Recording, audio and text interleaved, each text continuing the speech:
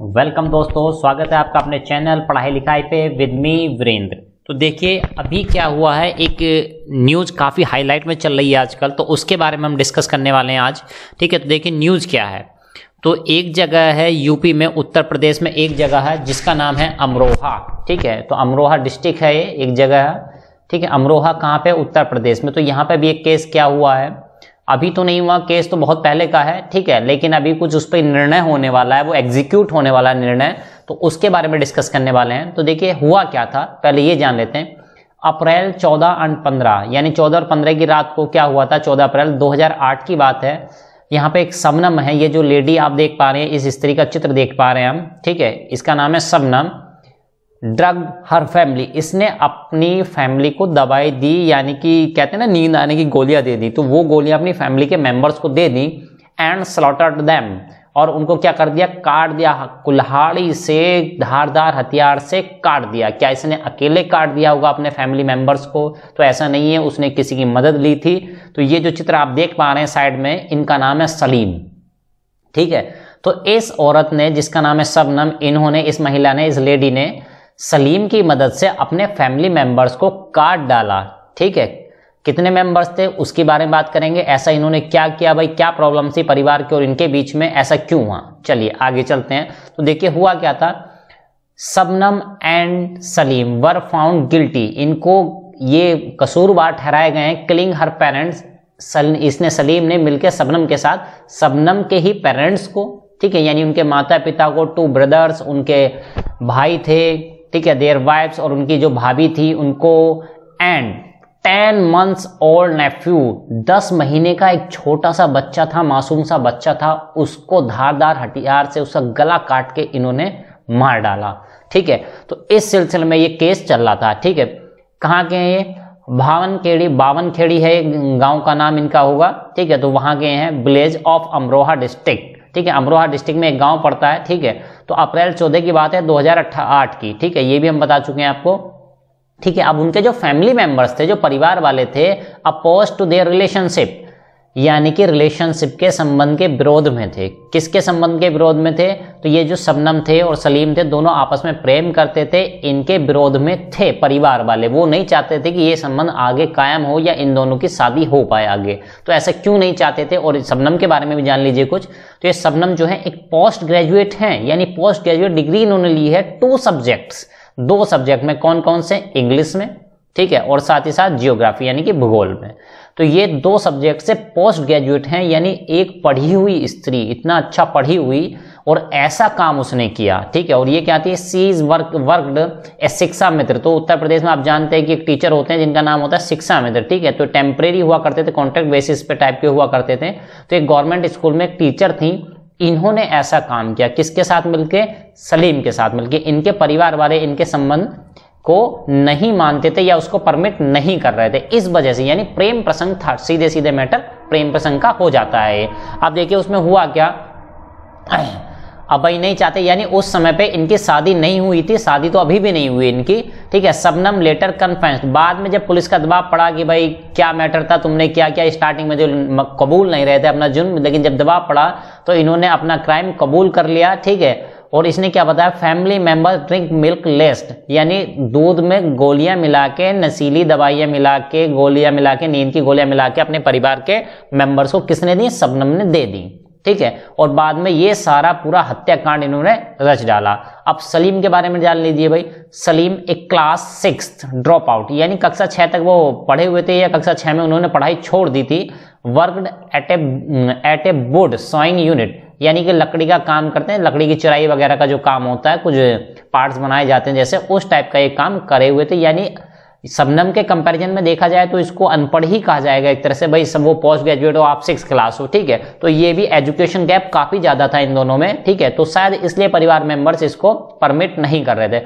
और मज़े की बात ये कि भाई, सबनम के घर के जस्ट बाहर ये अपना ये दुकान चलाया करते थे, काम किया करते थे।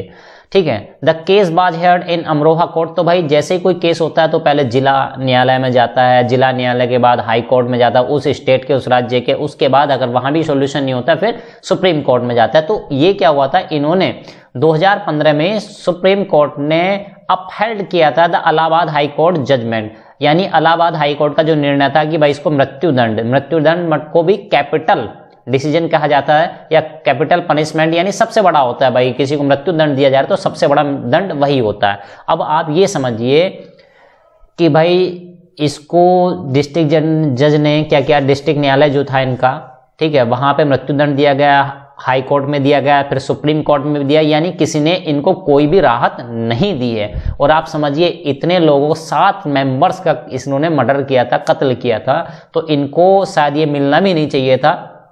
ठीक है? अब आप ये समझिए, एक पोस्ट ग्रेजुएट पर्सन अगर ऐसा काम कर रही है एक महिला तो ये माना जाता है भाई, महिलाएँ जो होती है, उनमें दर्द, प्यार, मोहब्बत बहुत ज़्यादा होती है, मानवता बहुत ज़्यादा मानी जाती है, लेकिन ये पढ़ी लिखी महिला पोस्ट ग्रेजुएट महिला ऐसा काम कर रही है तो कहीं ना कहीं प्रश्न चिन्ह इस बात पे भी उठता है कि भाई, हम लोग आज की डेट में किस लेवल की पढ़ाई कर रहे हैं, क्या पढ़ाई लिखाई से मानवता नाम का शब्द मिट गया, यानी उसमें मानवता नहीं रह गई। तो ये चीज़ें भी हमारी इनपुट होनी चाहिए, उसमें डलनी चाहिए, ठीक है? यानी पढ़ाई लिखाई के साथ साथ मानवता भी बच्चों को सिखाई जानी चाहिए ताकि ऐसे केसेस कम हो, ठीक है? चलिए, इस ये तो अलग इश्यू हो गया है। तो फ़िलहाल आगे डिस्कस करते हैं इस चीज़ों पर हुआ क्या, ठीक है?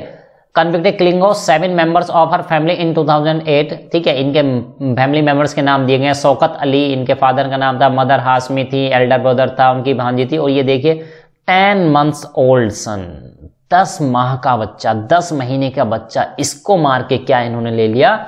ठीक है? तो ये भाई साहब ये सलीम थे, पता नहीं सलीम क्या कर रहे थे। भाई सलीम अनारकली, भाई आप लोगों प्रेम प्रसंग में इतने लोगों की जान ले ली तो और ये ज़ाहिर सी बात है इंटेंस हीट में किया गया क्राइम नहीं लगता कि अचानक से कोई दिमाग गर्म हुआ या कुछ हो गया। नहीं, ये बेल प्लान मर्डर था, ठीक है?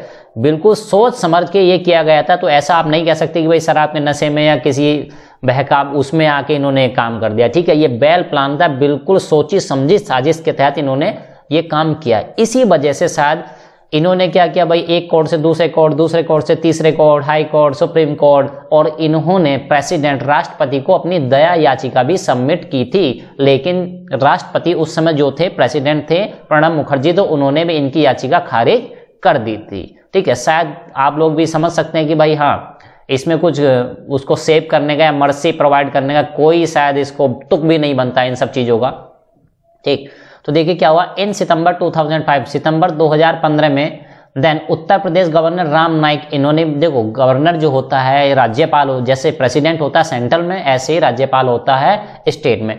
तो गवर्नर क्या होता है? कुछ केसेस में माफ़ी दे सकते हैं, लेकिन हाँ वो भी क्या करते हैं? गवर्नर के पास ये राइट नहीं होता कि अगर किसी को मृत्यु दंड दिया गया तो मृत्यु दंड को माफ़ कर दें, ठीक है?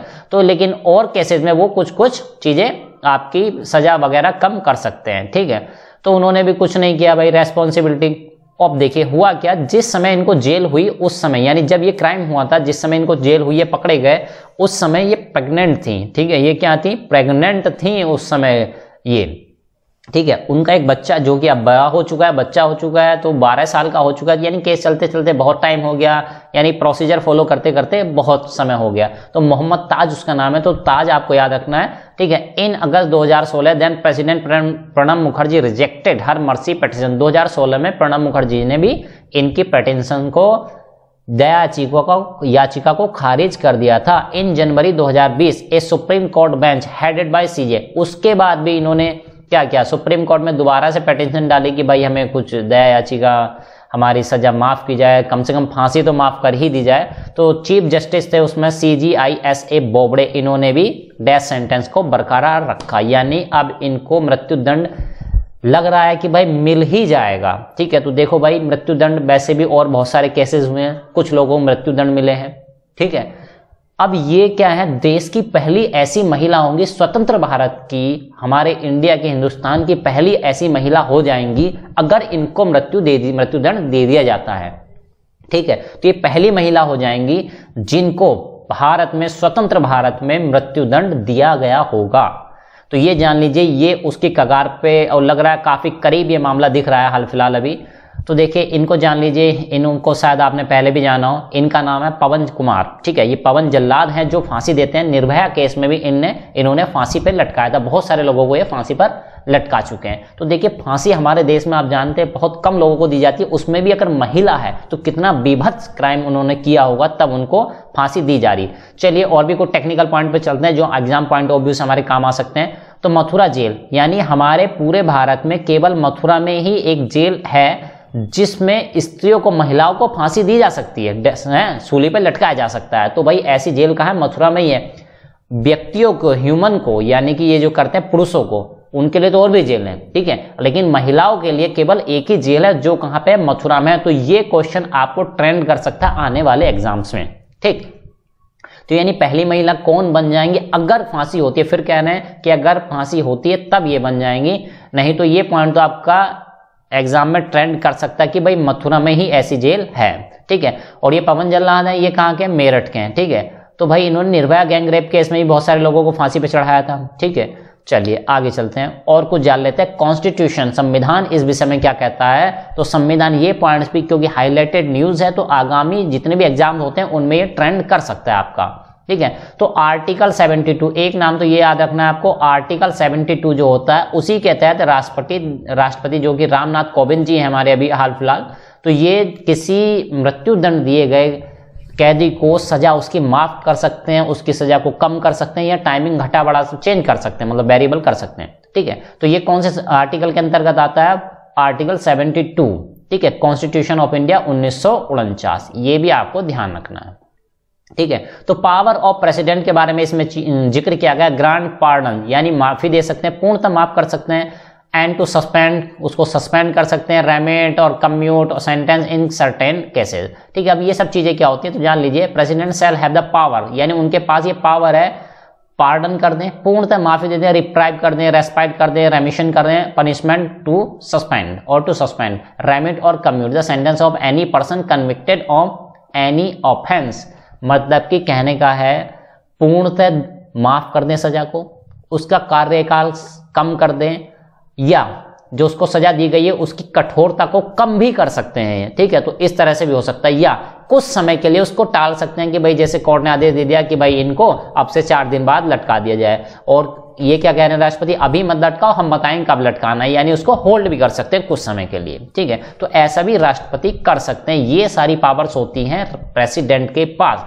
ये क्रिमिनल सभी केसेस में होती हैं, लेकिन राज्यपाल के पास केवल मृत्यु दंड के केस में ये सारी पावर नहीं होती हैं। और ये किसी का कोर्ट मार्शल होता है या उसको, किसी सैनिक को मृत्युदंड दिया जाता है तो उस केस में भी राज्यपाल के पास ये विशेषाधिकार होते हैं। तो ये कुछ इंपॉर्टेंट पॉइंट्स होते हैं। ठीक है तो देखिए भाई, देश की पहली महिला अगर ये बनेंगी तो इससे आने वाले वीडियो में आगे भी हम बताएँगे कि पहली पहली बार किस किस महिला का नाम किन किन वजहों से सुर्खियों में आया यानी देश में पहली महिला आईएएस ऑफिसर कौन थी या बहुत सारे हैं, माउंट एवरेस्ट पर चढ़ने वाली। इस टाइप के वीडियो भी आपके आने वाले समय में सामने आएँगे। तो और भी वीडियो देखने के लिए और भी जानकारी देखने के लिए देखते रहिए हमारा चैनल पढ़ाई लिखाई। धन्यवाद।